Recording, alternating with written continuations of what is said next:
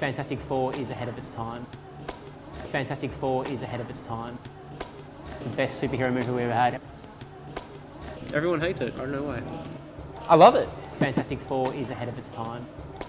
Fantastic Four is ahead of its time. The best superhero movie we ever had. Everyone hates it. I don't know why. I love it. I love it.